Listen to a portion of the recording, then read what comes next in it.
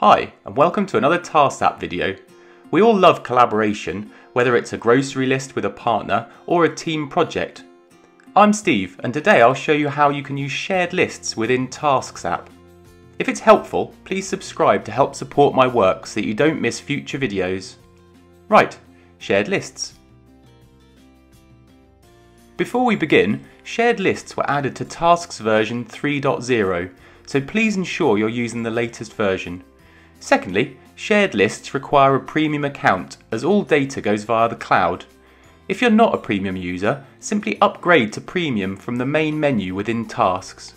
Finally, just like normal lists, shared lists are backed up. They sync between your devices and are available in the web app. So, how do we create a shared list? Easy.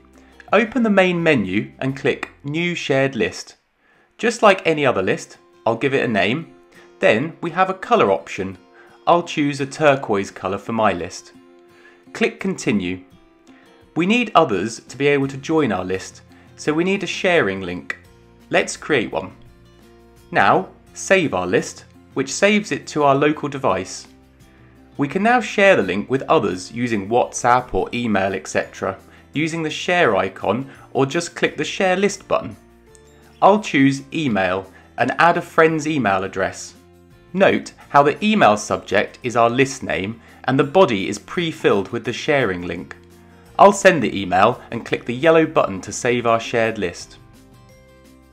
As I mentioned, the list is only saved on our local device. Before others can join, it needs to sync with the tasks servers, so just close tasks or swipe down to initiate a sync. We can go back to our shared list settings at any time by clicking Edit List from the main menu or tapping the list name in the heading.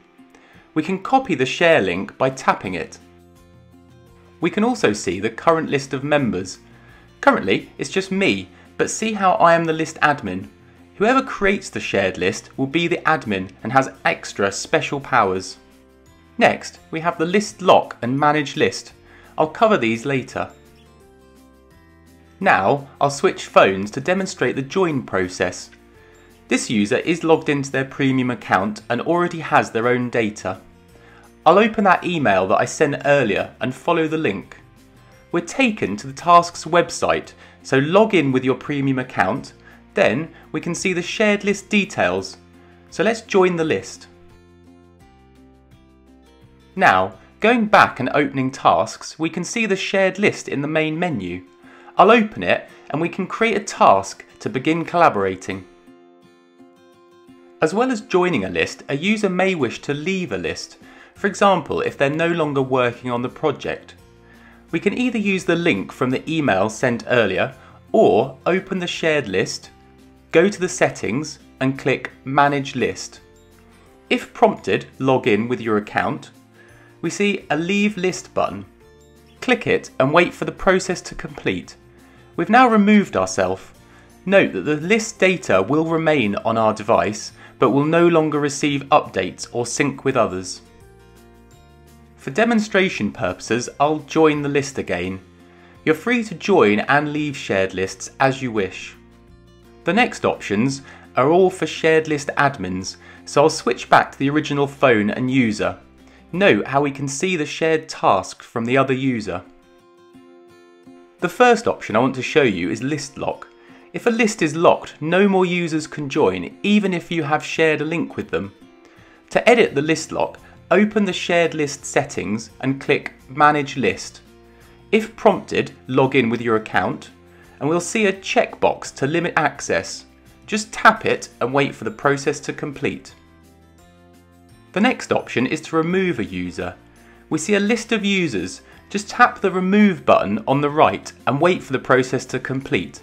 The user will be removed from the shared list and no longer receive any list updates, although the current state will remain on their device. Finally, the delete list button. Click it and if you're sure, accept the warning, then wait for the process to complete. The shared list link is no longer valid. Users will no longer receive updates and the shared list is now marked for deletion. The current state of the shared list will persist on all users' devices. and you are free to delete the list using the normal method within tasks. That's all for this video. Thank you so much for watching. If you liked it, give it a like. If it was helpful, please subscribe to my channel and help support my work. It's very much appreciated. Finally, if you need any help with anything in tasks or have a suggestion for improvements, just send me an email, details are in the video description below, or leave a comment and I'll do my best to reply.